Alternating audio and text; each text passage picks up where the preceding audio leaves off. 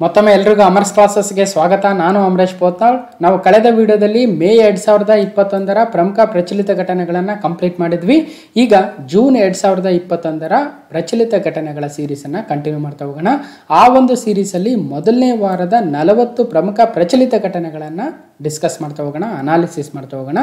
So ಈ ಒಂದು ಭಾಗ ಮೊದಲನೇ ಭಾಗ ಆಗಿದ್ದು ಇಪ್ಪತ್ತು ಪ್ರಮುಖ ಪ್ರಚಲಿತ ಘಟನೆಗಳನ್ನು ನೋಡ್ತಾ ಹೋಗೋಣ. ಓಕೆ ಮುಂದಿನ ವಿಡಿಯೋದಲ್ಲಿ ಸೊ ಉಳಿದಿರ್ತಕ್ಕಂಥ ಇಪ್ಪತ್ತು ಪ್ರಶ್ನೆಗಳನ್ನು ಡಿಸ್ಕಸ್ ಮಾಡೋಣ. ಹಾಗಾದರೆ ಜೂನ್ ಎರಡು ಸಾವಿರದ ಇಪ್ಪತ್ತೊಂದರ ಮೊದಲನೇ ವಾರದ ಮೊದಲನೇ ಭಾಗದ ಪ್ರಮುಖ ಪ್ರಚಲಿತ ಘಟನೆಗಳು ಯಾವ್ಯಾವ ಆಗ್ತವೆ ಅಂತ ನೋಡೋದಾದರೆ, ಸಿರಿಯಾ ಬಷರ್ ಅಲ್ ಅಸದ್ ನಾಲ್ಕನೇ ಅವಧಿಗೆ ಅಧ್ಯಕ್ಷರಾಗಿ ಮರು ಆಯ್ಕೆಯಾಗಿದ್ದಾರೆ ಎವರೆಸ್ಟ್ ಶಿಖರವನ್ನು ವೇಗವಾಗಿ ಏರಿದ ಹಾಂಗ್ಕಾಂಗ್ ಮಹಿಳೆ, ಇಸ್ರೇಲ್ ಮತ್ತು ಪ್ಯಾಲೆಸ್ತಾನ್ಗಾಗಿ ಶಾಶ್ವತ ಆಯೋಗದ ರಚನೆ, P M cares for children scheme ತಾಯಿ ಮತ್ತು ಮಕ್ಕಳ ಬದುಕುಳಿಯುವಿಕೆಯ ದರಗಳಲ್ಲಿ ಚೀನಾದ ವೈಶಿಷ್ಟ್ಯ. ಅಂದರೆ ಮೆಟರ್ನಲ್ ಆ್ಯಂಡ್ ಚೈಲ್ಡ್ ಸರ್ವೈವಲ್ ರೇಟ್ಸಲ್ಲಿ ಚೀನಾದ ವೈಶಿಷ್ಟ್ಯತೆಯನ್ನು ಮೆರೆದಿದೆ. ಅದು ಏನಂತ ನೋಡ್ತಾ ಹೋಗೋಣ.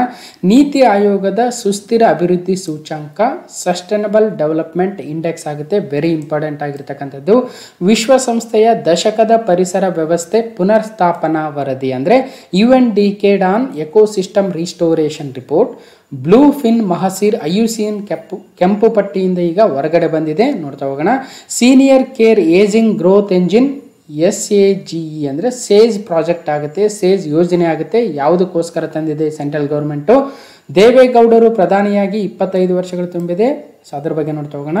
ಭಾರತದ ಜಿ ಡಿ ಪಿ ಆರ್ಥಿಕ ವರ್ಷ ಎರಡು ಸಾವಿರದ ಇಪ್ಪತ್ತೊಂದರ ಒಟ್ಟು ಮೌಲ್ಯ ಮತ್ತು ನಾಲ್ಕನೇ ತ್ರೈಮಾಸಿಕದ ಹೊಸ ಅಪ್ಡೇಟ್ ಏನಿದೆ? ರೇರಾ ನೂತನ ಅಧ್ಯಕ್ಷರಾಗಿ ಯಾರು? ಅಧಿಕಾರವನ್ನು ವಹಿಸಿಕೊಂಡಿದ್ದಾರೆ. ಇತ್ತೀಚೆಗೆ ಭಾರಿ ಸುದ್ದಿಯಲ್ಲಿರ್ತಕ್ಕಂಥ ಸೆಂಟ್ರಲ್ ವಿಸ್ತಾ ಪ್ರಾಜೆಕ್ಟ್ ಯಾಕೆ ಸುದ್ದಿಯಲ್ಲಿದೆ? ಭಾರತದ ಎರಡು ಸಾವಿರದ ಇಪ್ಪತ್ತು ಇಪ್ಪತ್ತೊಂದನೇ ಸಾಲಿನ ವಿತ್ತೀಯ ಕೊರತೆ ಜಿ ಡಿ ಪಿಯ ಎಷ್ಟರಷ್ಟಿದೆ ಅಂತ ನೋಡ್ತಾ ಹೋಗೋಣ. ಭಾರತದ ಮಾನ್ಸೂನ್ ಮಳೆ ಎರಡು ಸಾವಿರದ ಇಪ್ಪತ್ತೊಂದು, ಭಾರತದ ಹವಾಮಾನ ಇಲಾಖೆ ಐ ಎಂ ಡಿ ಯಾವ ಒಂದು ಅಪ್ಡೇಟನ್ನು ಕೊಟ್ಟಿದೆ? ದೇಶದ ವಿವಿಧ ರಾಜ್ಯ ಸರ್ಕಾರಗಳು ಮತ್ತು ಕೇಂದ್ರ ಸರ್ಕಾರಗಳ ಮಧ್ಯೆ ನಡೀತಿರತಕ್ಕಂಥ ಘರ್ಷಣೆಗಳು ಯಾವ್ಯಾವು? ದೇಶದ ವಿವಿಧ ಪ್ರಾದೇಶಿಕ ಪಕ್ಷಗಳು ಯಾವಿದ್ದಾವೆ ಮತ್ತು ರಾಷ್ಟ್ರೀಯ ಪಕ್ಷಗಳು ಯಾವಿದ್ದಾವೆ ಮತ್ತು ಈಗ ಅವು ಯಾಕೆ ಸುದ್ದಿಯಲ್ಲಿದ್ದಾವೆ. ನ್ಯಾಯಮೂರ್ತಿ ಅರುಣ್ ಮಿಶ್ರಾ ಅವರು ರಾಷ್ಟ್ರೀಯ ಮಾನವ ಹಕ್ಕುಗಳ ಆಯೋಗದ ಅಧ್ಯಕ್ಷರಾಗಿದ್ದಾರೆ. ಸೊ, ನೋಡ್ತಾ ಹೋಗೋಣ. ಇಸ್ರೇಲ್ ಹೊಸ ಅಧ್ಯಕ್ಷರಾರು ಮತ್ತು ಯೂರೋ ಕಪ್ ನಡೀತಾ ಇದೆ. ಅದರ ಬಗ್ಗೆ ಒಂದಷ್ಟು ಅಪ್ಡೇಟನ್ನು ನೋಡ್ತಾ ಹೋಗೋಣ. ಓಕೆ ಹಾಗಾದರೆ ಜೂನ್ ಎರಡು ಸಾವಿರದ ಇಪ್ಪತ್ತೊಂದರ ಮೊದಲನೇ ವಾರದ ನಲವತ್ತು ಪ್ರಮುಖ ಪ್ರಚಲಿತ ಘಟನೆಗಳನ್ನು ನೋಡಿದಂಗಾಗುತ್ತೆ. ಸೊ ಇಲ್ಲಿವರೆಗೂ ನಾವು ಜನವರಿ ಎರಡು ಸಾವಿರದ ಇಪ್ಪತ್ತೊಂದರಿಂದ ಮೇ ಎರಡು ಸಾವಿರದ ಇಪ್ಪತ್ತೊಂದರವರೆಗೂ ಸುಮಾರು ಕರೆಂಟ್ ಅಫೇರ್ಸನ್ನ ಡಿಸ್ಕಸ್ ಮಾಡಿದ್ದೀವಿ. ಸೊ ಎರಡು ಸಾವಿರದ ಹತ್ತೊಂಬತ್ತು ಮತ್ತು ಇಪ್ಪತ್ತರಲ್ಲೂ ಕೂಡ ಪ್ರಮುಖ ಪ್ರಚಲಿತ ಘಟನೆಗಳನ್ನು ನೋಡಿದ್ವಿ. ಹಾಗಾದರೆ ಜೂನ್ ಎರಡು ಸಾವಿರದ ಇಪ್ಪತ್ತೊಂದರ ಮೊದಲನೇ ವಾರದ ಮೊದಲನೇ ಭಾಗದ ಮೊದಲನೇ ಪ್ರಶ್ನೆ ಕ್ವಶನ್ ನಂಬರ್ ಒನ್ ಸಿರಿಯಾ ದೇಶದ ನಾಲ್ಕನೇ ಅವಧಿಗೆ ಅಧ್ಯಕ್ಷರಾಗಿ ಮರು ಆಯ್ಕೆಯನ್ನಾಗಿದ್ದಾರೆ ಅವರು ಬಷರ್ ಅಲ್ ಅಸದ್ ಅವರು. ಓಕೆ ನೋಡಿ Bashar al Assad reelected as Syrian president for the fourth term ಯಾವ ದೇಶ ಅಂದರೆ ಸಿರಿಯಾ ದೇಶದ ಅಧ್ಯಕ್ಷರು ಯಾರು ಅಂತ ಕೇಳಿದರೆ ಬಶರ್ ಅಲ್ ಅಸದ್ ಅವರು ನಾಲ್ಕನೇ ಬಾರಿಗೆ ಮತ್ತೊಮ್ಮೆ ಅಧ್ಯಕ್ಷರಾಗಿ ಆಯ್ಕೆಯಾಗಿದ್ದಾರೆ. ಓಕೆ ಹಾಗಾದರೆ ಸಿರಿಯಾ ದೇಶ ಎಲ್ಲಿ ಬರುತ್ತೆ? ನೋಡಿ, ಭಾರತ ಇಲ್ಲಿದೆ. ಸಿರಿಯಾ ಮಧ್ಯಪ್ರಾಚ್ಯದ ಮಿಡಲ್ ಈಸ್ಟಲ್ಲಿ ಬರ್ತಕ್ಕಂಥ ಒಂದು ದೇಶ. ಅದರ ರಾಜಧಾನಿ ಡಮಸ್ಕಸ್ ಆಗುತ್ತೆ. ಓಕೆ ಈ ಕಡೆ ಜಾರ್ಡನ್ನು, ಟರ್ಕಿ ಮತ್ತು ಇಸ್ರೇಲ್ಗಳು ಈ ಕಡೆ ಬರ್ತವೆ. ಓಕೆ ಸೊ ಇನ್ನು ಎರಡನೇ ಪ್ರಶ್ನೆ, ಎವರೆಸ್ಟ್ ಶಿಖರವನ್ನು ವೇಗವಾಗಿ ಏರಿದ ಹಾಂಗ್ಕಾಂಗ್ ಮಹಿಳೆ. ಅಂದರೆ Hong Kong women breaks the record for the fastest ascent of the Everest Everest ಶಿಖರ ಸೊ ಇತ್ತೀಚೆಗೆ ಒಂದು ಹೊಸ ಅಪ್ಡೇಟ್ ಬಂದಿತ್ತು ಮೌಂಟ್ ಎವರೆಸ್ಟ್ ಮೇಲೆ. ಆ ಅಪ್ಡೇಟನ್ನು ನೋಡೋ, ನೋಡೋದ್ರ ಜೊತೆಗೆ ಈ ಒಂದು ಮೌಂಟ್ ಎವರೆಸ್ಟನ್ನು ಅತ್ಯಂತ ವೇಗವಾಗಿ ಏರಿರ್ತಕ್ಕಂಥ ಮಹಿಳೆ ಯಾರು? ಅವರು ಯಾವ ದೇಶದವರು ಅಂತ ನೋಡ್ತಾ ಹೋಗೋಣ ಓಕೆ ನೋಡಿ Hong Kong women breaks the record for the fastest ascent of Everest ಅವ್ರ ಹೆಸರೇನೆಂದರೆ ಸ್ಯಾಂಗ್ ಇನ್ ಅಂಗ್ ಅಂತ. ಅಂದರೆ ಸ್ಯಾಂಗ್ ಇನ್ ಅಂಗ್ ಅಂತಕ್ಕಂಥ ಹಾಂಗ್ಕಾಂಗ್ನ ಮಹಿಳೆ, ಮಹಿಳೆಯರಲ್ಲಿಯೇ ಮೌಂಟ್ ಎವರೆಸ್ಟನ್ನು ಅತಿ ವೇಗವಾಗಿ ಏರಿರ್ತಕ್ಕಂಥ ಒಂದು ಸಾಧನೆಯನ್ನು ಮಾಡಿದ್ದಾರೆ. ಹಾಗಾದರೆ ಎಷ್ಟು ಒಂದು ಅವರ್ಸ್ ತೆಗೆದುಕೊಂಡಿದ್ದಾರೆ ಅಂದರೆ ಇಪ್ಪತ್ತೈದು ಗಂಟೆ ಐವತ್ತು ನಿಮಿಷಗಳಲ್ಲಿ ಮೌಂಟ್ ಎವರೆಸ್ಟನ್ನು ಏರಿದ್ದಾರೆ ಹಾಗಾದರೆ ಮೌಂಟ್ ಎವರೆಸ್ಟ್ನ ಇತ್ತೀಚಿನ ಎತ್ತರ ಏನಂದರೆ ಎಂಟು ಸಾವಿರದ ಎಂಟುನೂರ ನಲವತ್ತೆಂಟು ಪಾಯಿಂಟ್ ಎಂಬತ್ತಾರು ಮೀಟರ್ಗಳು ಮೌಂಟ್ ಎವರೆಸ್ಟ್ನ ಇತ್ತೀಚಿನ ಒಂದು ಹೈಟ್ ಎಷ್ಟಿದೆ ಅಂತ ನೇಪಾಳ, ಚೀನಾ ದೇಶವು ಮಾಡಿರ್ತಕ್ಕಂಥ ಸರ್ವೆಯಲ್ಲಿ ಗೊತ್ತಾಗಿತ್ತು.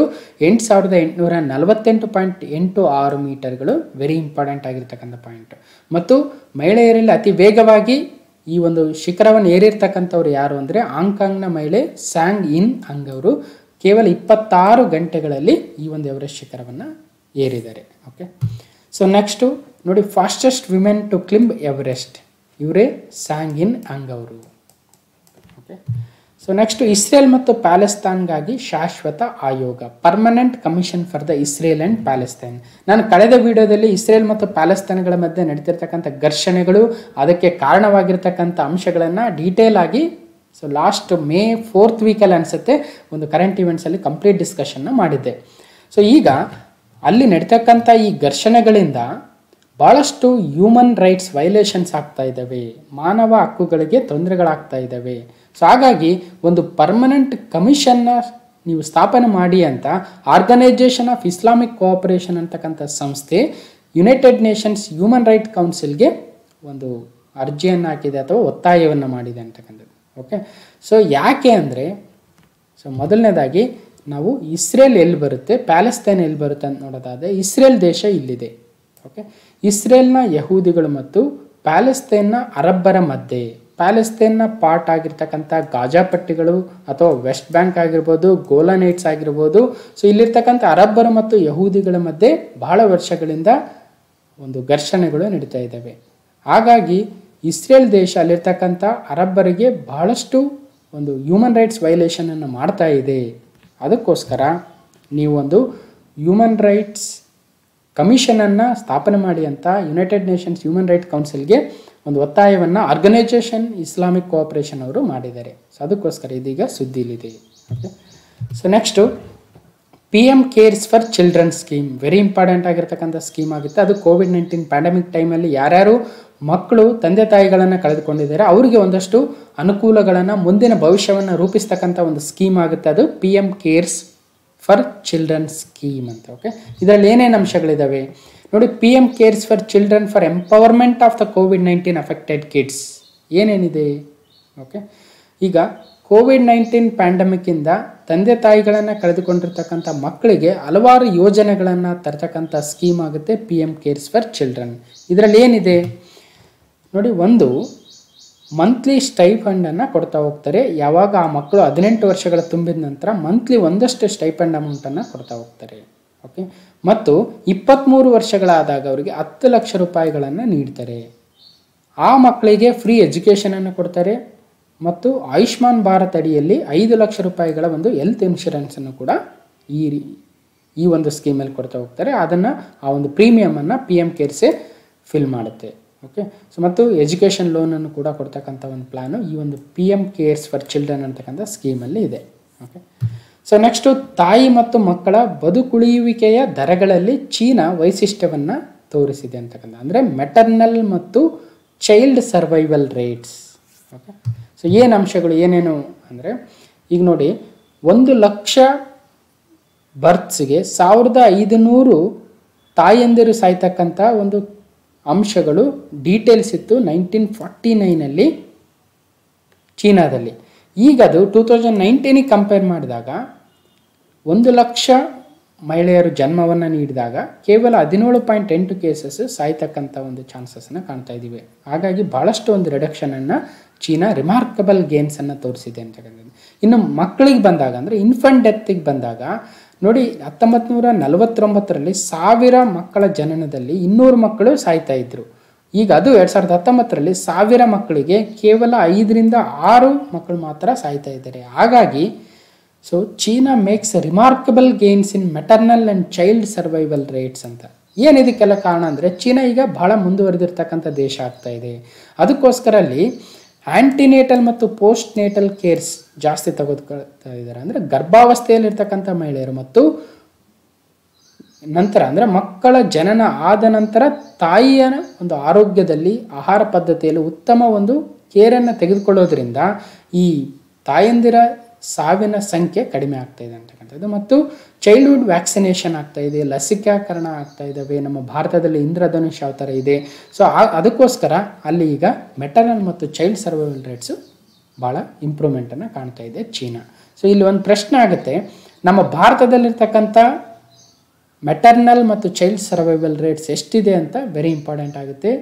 ಸೊ ಅದನ್ನು ನೀವು ಗೂಗಲಲ್ಲಿ ಸರ್ಚ್ ಮಾಡಿ ಅಪ್ಡೇಟ್ ಮಾಡಿ ಕಮೆಂಟ್ಸ್ ಬಾಕ್ಸಲ್ಲಿ ಓಕೆ ಸೊ ನೆಕ್ಸ್ಟ್ ನೀತಿ ಆಯೋಗದ ಸುಸ್ಥಿರ ಅಭಿವೃದ್ಧಿ ಸೂಚ್ಯಾಂಕ ಸಸ್ಟೈನಬಲ್ ಡೆವಲಪ್ಮೆಂಟ್ ಇಂಡೆಕ್ಸ್ ಆಗುತ್ತೆ. ನೀತಿ ಆಯೋಗದ ವೆರಿ ಇಂಪಾರ್ಟೆಂಟ್ ಎರಡು ಸಾವಿರದ ಹದಿನೆಂಟರಿಂದ ಈ ಒಂದು ಇಂಡೆಕ್ಸನ್ನು ಕೊಡ್ತಾ ಹೋಗ್ತಾ ಇದ್ದಾರೆ. ಇದರ ಉದ್ದೇಶ ಏನು? ಯಾಕೆ ಈ ಇಂಡೆಕ್ಸನ್ನು ಕೊಡಬೇಕು? ಫಸ್ಟ್ ಆಫ್ ಆಲ್ ಸುಸ್ಥಿರ ಅಭಿವೃದ್ಧಿ ಸೂಚ್ಯಾಂಕ ಅಂದ್ರೇನು? ಇದಕ್ಕೂ ವಿಶ್ವಸಂಸ್ಥೆಗೂ ಮತ್ತು ನಮ್ಮ ಭಾರತ, ಭಾರತದ ವಿವಿಧ ರಾಜ್ಯಗಳಿಗಿರ್ತಕ್ಕಂಥ ಒಂದು ಹೋಲಿಕೆಗಳೇನು ಅನ್ನೋದನ್ನು ಈ ಒಂದು ಅಂಶದಲ್ಲಿ ನೋಡ್ತಾ ಹೋಗೋಣ. ಓಕೆ ಮೊದಲನೇದಾಗಿ what is the S D G India index and how does your state rank ಅಂತ. ನಮ್ಮ ಸ್ಟೇಟ್ ಬಗ್ಗೆನೂ ಎಕ್ಸಾಮಲ್ಲಿ ಕೇಳ್ತಾ ಹೋಗ್ಬೋದು. ಓಕೆ ಸೊ ಹಾಗಾದರೆ ಮೊದಲನೇದು, ಈ ರ್ಯಾಂಕಲ್ಲಿ ಯಾವ ರಾಜ್ಯ ಯಾವ ಸ್ಥಾನದಲ್ಲಿದೆ ಅಂತ ಫಸ್ಟ್ ನೋಡ್ಕೊಂಬರೋಣ ಆಮೇಲೆ ಇದಂದ್ರೇನು? ಸೊ ಇದು ಯಾಕೆ ಬೇಕು ಅಂತಲೂ ಕೂಡ ನೋಡೋಣ. ಓಕೆ ಮೊದಲು, ಹಾಂ. ಸೊ ಈಗ ಎರಡು ಸಾವಿರದ ಇಪ್ಪತ್ತೊಂದರ ರ್ಯಾಂಕಿಂಗಲ್ಲಿ ಮೊದಲನೇ ಸ್ಥಾನದಲ್ಲಿರ್ತಕ್ಕಂಥ ರಾಜ್ಯ, ಎಸ್ ಡಿ ಜಿ ಇಂಡೆಕ್ಸಲ್ಲಿ ಓಕೆ ಸುಸ್ಥಿರ ಅಭಿವೃದ್ಧಿ ಸೂಚ್ಯಾಂಕ ಅಥವಾ ಸಸ್ಟೈನಬಲ್ ಡೆವಲಪ್ಮೆಂಟ್ ಇಂಡೆಕ್ಸಲ್ಲಿ ಯಾವ ರಾಜ್ಯ ಮೊದಲನೇ ಸ್ಥಾನದಲ್ಲಿದೆ ಅಂದರೆ ಕೇರಳ ರಾಜ್ಯ ಮೊದಲನೇ ಸ್ಥಾನದಲ್ಲಿದೆ. ಎರಡನೇ ಸ್ಥಾನದಲ್ಲಿ ಹಿಮಾಚಲ್ ಪ್ರದೇಶ, ಮೂರು ತಮಿಳುನಾಡು, ನಾಲ್ಕು ಆಂಧ್ರ ಪ್ರದೇಶ ಐದು ಗೋವಾ, ಕರ್ನಾಟಕ ಆರನೇ ಸ್ಥಾನದಲ್ಲಿದೆ. ಓಕೆ? ಎಪ್ಪತ್ತೆರಡು ಅಂಕಗಳೊಂದಿಗೆ ಆರನೇ ಸ್ಥಾನದಲ್ಲಿದೆ ನಮ್ಮ ಕರ್ನಾಟಕ. ಮುಂದೆ ಬರತಕ್ಕಂಥ ಎಲ್ಲ ಪರೀಕ್ಷೆಗಳಲ್ಲಿ ಕೇಳಬಹುದು. ಅಂದರೆ ನೀತಿ ಆಯೋಗ ರಿಲೀಸ್ ಮಾಡಿರ್ತಕ್ಕಂಥ ಎಸ್ ಟಿ ಜಿ ಇಂಡೆಕ್ಸಲ್ಲಿ ಕರ್ನಾಟಕದ ಸ್ಥಾನ ಏನು ಅಂದರೆ ಆರನೇ ಸ್ಥಾನದಲ್ಲಿದೆ. ಓಕೆ? ಮೊದಲನೇ ಸ್ಥಾನದಲ್ಲಿ ಯಾವುದಿದೆ ಅಂದರೆ ಕೇರಳ. ಕೊನೆಯ ಸ್ಥಾನದಲ್ಲಿ ಯಾವ ರಾಜ್ಯ ಇದೆ ಅಂದರೆ ಬಿಹಾರ ಕೊನೆಯ ಸ್ಥಾನದಲ್ಲಿದೆ. ಇನ್ನು ಯೂನಿಯನ್ ಟೆರಿಟರೀಸ್ ಅಥವಾ ಕೇಂದ್ರಾಡಳಿತ ಪ್ರದೇಶಗಳಿಗೆ ಬಂದಾಗ ಚಂಡೀಗಢವು ಮೊದಲನೇ ಸ್ಥಾನದಲ್ಲಿದೆ, ಎರಡನೇ ಸ್ಥಾನದಲ್ಲಿ ದೆಲ್ಲಿ. ಇನ್ನು ಕೊನೆಯ ಸ್ಥಾನದಲ್ಲಿ ದಾದ್ರಾ ನಗರ, ಬೇಲಿ ಮತ್ತು ದಮನ್ ದಿಯುಗಳು ಕೊನೆಯ ಸ್ಥಾನದಲ್ಲಿದೆ. ಓಕೆ ಇಷ್ಟ ಆಯಿತು ಓಕೆ, ಇದು S D G index NITI Aayog release ಮಾಡುತ್ತೆ. ಈಗ ಎಸ್ ಡಿ ಜಿ ಇಂಡೆಕ್ಸ್ ಅಂದ್ರೇನು ಎಸ್ ಡಿ ಜಿ ಅಂದ್ರೆ ಏನು ಅಂದರೆ ಸಸ್ಟೈನಬಲ್ ಡೆವಲಪ್ಮೆಂಟ್ ಗೋಲ್ಸ್ ಅಂದರೆ ಸುಸ್ಥಿರ ಅಭಿವೃದ್ಧಿ ಗುರಿಗಳಾಗ್ತವೆ.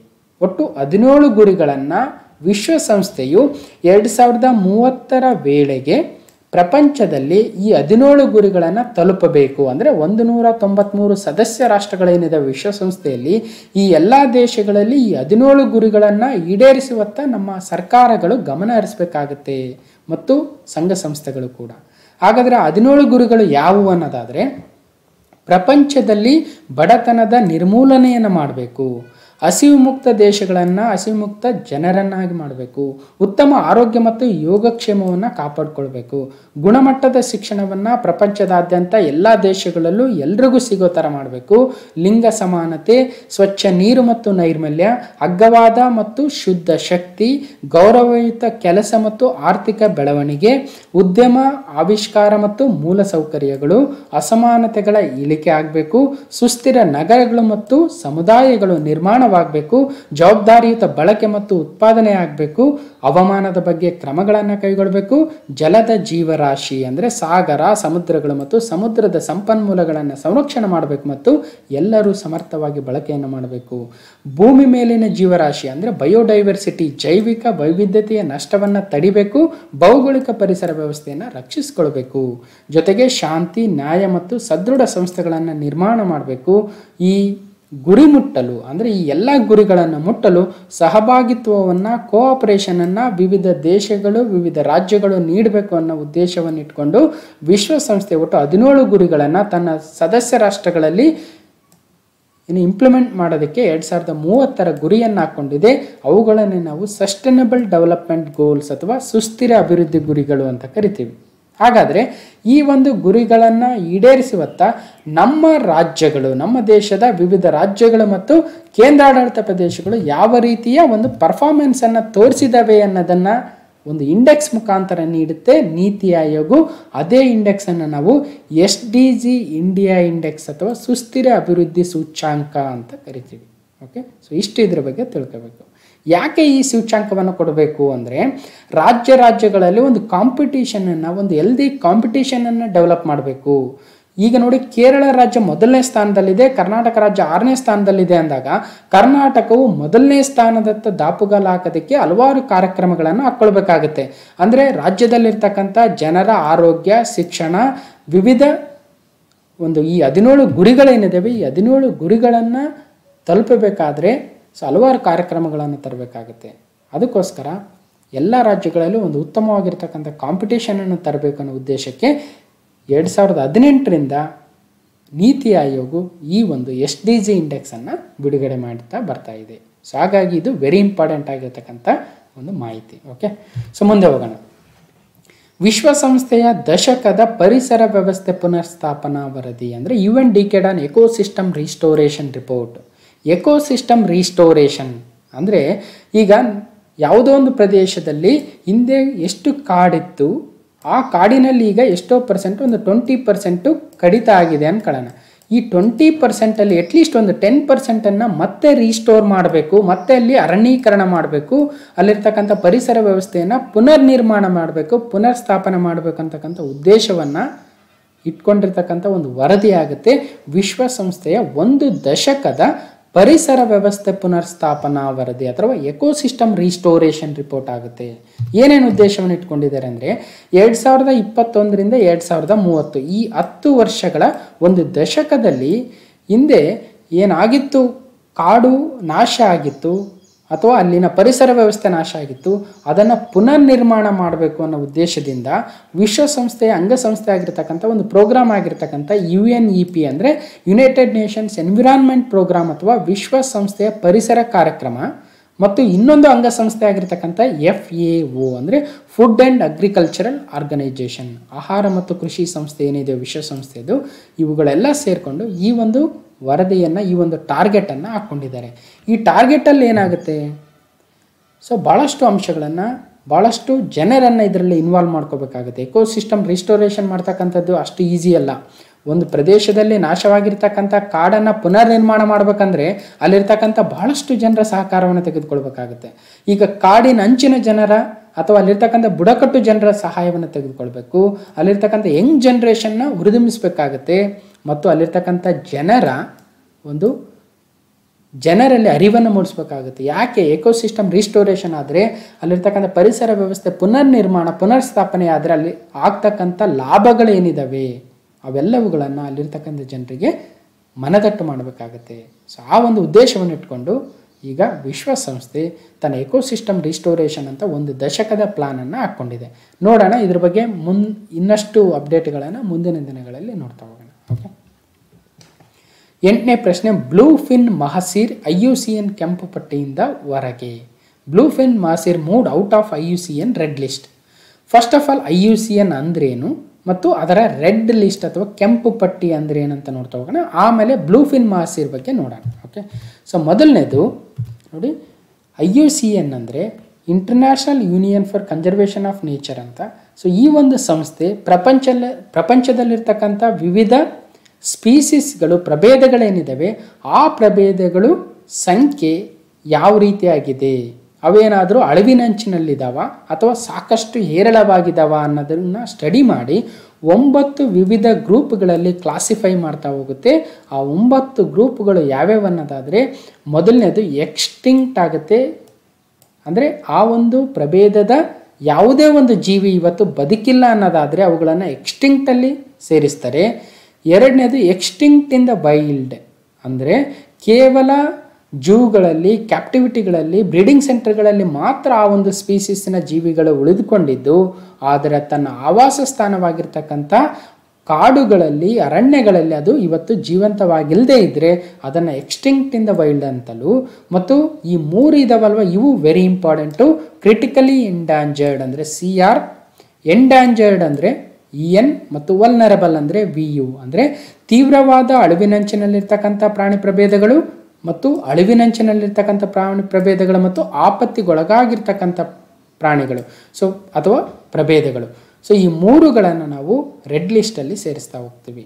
ಇನ್ನು ನಿಯರ್ ಥ್ರೆಟೆಂಡು ಲೀಸ್ಟ್ ಕನ್ಸರ್ನ್ ಮತ್ತು ಡೇಟಾ ಡೆಫಿಷಿಯಂಟ್ ಮತ್ತು ನಾಟ್ ಇವ್ಯಾಲ್ಯುವೇಟೆಡ್ ಅಂತಕ್ಕಂಥ ಒಂಬತ್ತು ವಿವಿಧ ಗ್ರೂಪ್ಗಳಲ್ಲಿ ಪ್ರಪಂಚದಲ್ಲಿರ್ತಕ್ಕಂಥ ಜೀವಿಗಳನ್ನು, ಪ್ರಭೇದಗಳನ್ನು ಸ್ಪೀಸೀಸ್ಗಳನ್ನು ಸೇರಿಸ್ತಾ ಹೋಗ್ತಾರೆ.